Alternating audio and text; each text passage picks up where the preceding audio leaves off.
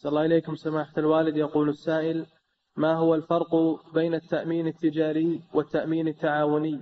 التعاوني لا يقصد به الاستثمار ولا يعود على المساهم شيء إلا الأجر.